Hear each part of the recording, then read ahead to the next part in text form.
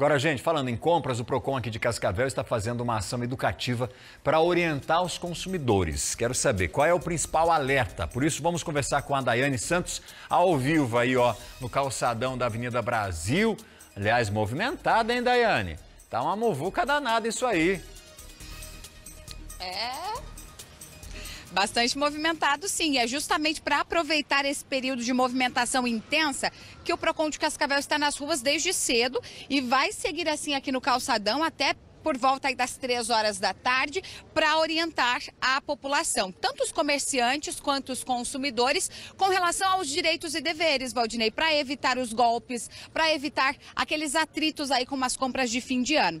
E para trazer mais detalhes para a gente, a gente está aqui ao lado do coordenador, que é o responsável pelo PROCON aqui de Cascavel, Pedro Martendal. Pedro, quais as principais reclamações que vocês têm recebido que fizeram vocês montarem né, essa ação intensiva aí de educação? Boa tarde. Boa tarde. O objetivo principal é a harmonia entre o fornecedor e o consumidor. Um depende do outro. Então, é agora véspera de Natal, depois tem que fazer troca de presentes, então que o, o consumidor converse com o lojista qual é a política de troca daquela loja, lembrando que o lojista se é obrigado a fazer a substituição do produto se tiver um vício ou um defeito.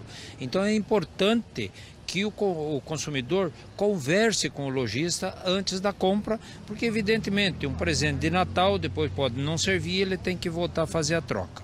Nós recomendamos que priorize o comércio local.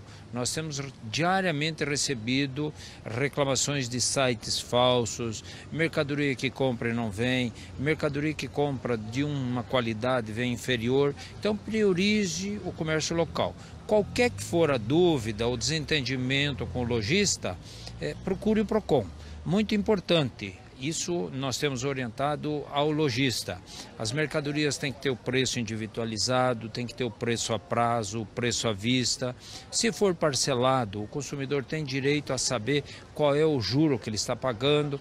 Então, todos esses detalhes nós estamos passando aos lojistas e também aos consumidores os seus direitos. Claro que o foco aqui é educação, mas se alguma irregularidade for constatada pelo consumidor, basta acionar vocês também. Sem dúvida, nós estamos aqui recebemos reclamações também, não tem a menor dúvida. E esperamos que não aconteça, mas se acontecer, o PROCON está aí para agir. Ok, Pedro, obrigada pela sua participação.